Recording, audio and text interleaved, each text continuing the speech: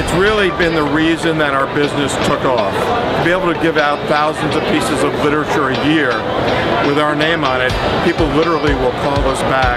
They said, we, you know, we have your literature from five years ago, from 10 years ago. You know, we've done all three shows for years and years and years. It's indispensable. Some shows are better than others, but it's all indispensable. It's critical. It's we don't really do any advertising. Uh, this is the only money we spend toward marketing. It's always been that way, and I think it's probably the reason we built our our business built to the, to the point where it is now. They've been great to deal with. It's an amazing organization, and they care. They really care about my growth, my organization, and me personally. You know, the booth costs, you know, not a lot, and we might get, you know, 10 times return on investment.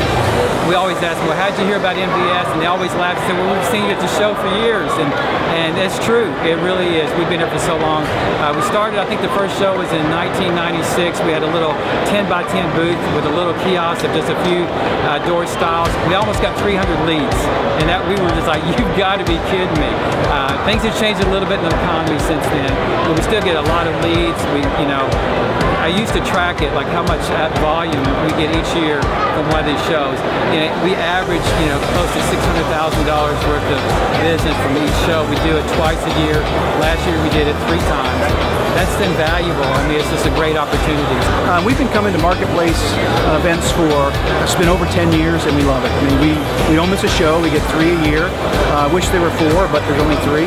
So we uh, uh, we meet clients here. They come in and out. We sometimes we'll leave with 40 leads. Sometimes it's 100 leads. Other times it's 20. But what we always get are good quality projects out of this home show. If you're not doing home shows at all, uh, you're missing the boat. There's a lot of great opportunities to market yourself and get a good return on investment, certainly, but uh, home shows, people are here. I mean, the, the homeowners are here shopping for products that may not even be yours, but they own a home. So, you know, you're talking to a high, uh, high percentage of homeowners, quality homeowners, and, uh, you know, they, they may not be looking for you today,